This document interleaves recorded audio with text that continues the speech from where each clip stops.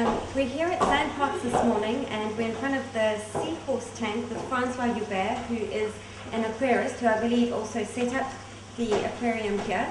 Um, there, we've got exciting news which I'm going to ask Francois to share with us. What happened here, Francois? Um, correct. What actually happened uh, was that we got babies. Uh, we were quite excited about it. It was a very nice idea.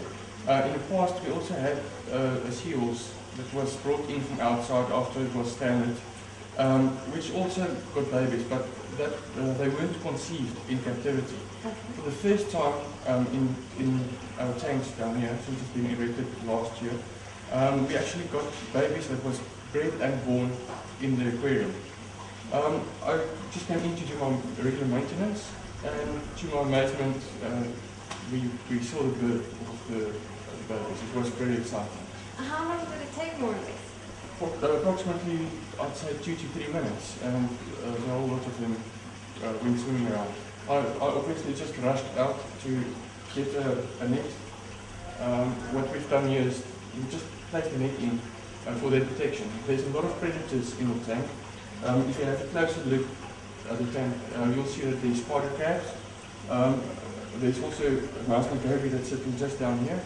A few other organisms that's all, you know, in nature they would definitely go for any small particles of food, uh, which is also the baby seahorses in this case. So that's why you have to put them out of the main tank and give them a little protective nursery. That's correct, yes. And, and Francois, I believe that there's something else that's possibly on its way. Can There is, um, if you have a close look, uh, one of our males here is definitely uh, bearing again. So within the next probably a month or so, we should have another batch of babies coming out. Okay, and you're going to actually construct a little nursery That's in correct. That's correct, yeah.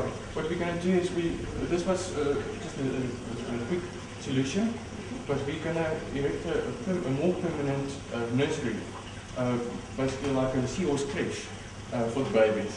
So um, as soon as we see that the, the other male is getting near to, to bearing, uh, to, to giving birth, we'll place him into the creche where he can have his young and they would be fully protected away from any harm, no other predators coming in. We'll, we'll do supply uh, a space for water to run through, you know, just sufficient current to drag in elements, um, fresh water, so that everything is still fine for the babies. That's, that's fantastic. It's exciting. So please let us know when this happens. Um, I have quite a, an important question to ask you. I believe it's not a good idea to keep seahorses in a tank in a, in a home aquarium. Oh yes. Is that right? That's correct, yeah. In the private capacity, um, you're not allowed to keep seahorses. Um, they are they're listed on the red dots on the species list. Okay. Um, so they're very endangered. The reason for this is uh, the Knysna seahorse only occurs from uh, Pueblo's River up until um, Sedgefields in Swartvlei. So they've got a, a very uh, small confined area where they occur. They're found nowhere else in the world. So uh, any significant change in the environment, like oil spill, significant oil spill could affect these species. Now also the reason why we're not allowed to take them is if everyone, anyone is allowed to go and take out a seahorse, we don't know what's going to happen with the population.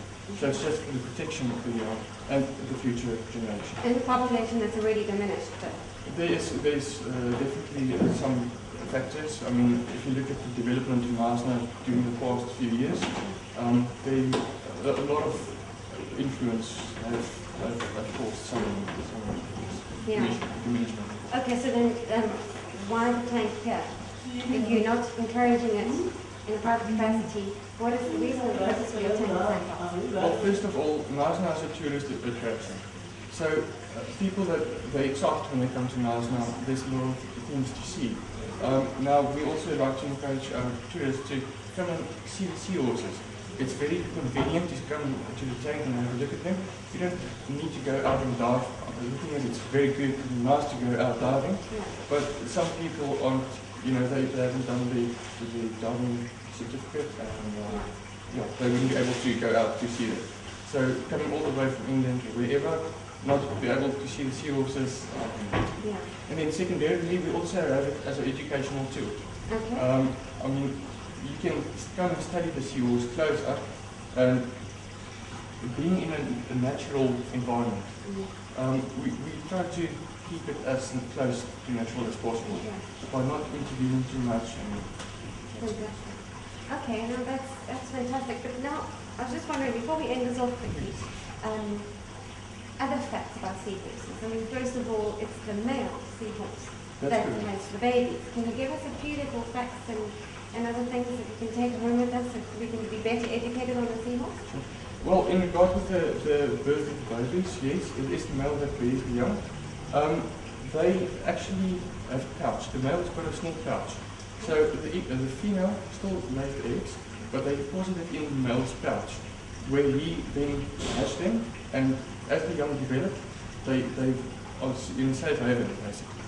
And as soon as they're ready to go, we will release them, and from there. Well, Francois, thank you so much. Um, as mentioned before, um, well, two things. One is that we could witness um, another batch of baby seahorses being born very soon, and we will bring this to you if it does happen. And uh, secondly, uh, Francois is um, a very experienced aquarist, so if, if we haven't covered any of the questions that you have, or you have any other questions about aquariums and um, basically anything to do Fish with ponds, fish Yes. ponds, like. Um, we will. We'll leave uh, Francois' details for you to contact him directly. So thank you again so much for this opportunity to see something and learn something so exciting. It's a pleasure. Have a good day. You too.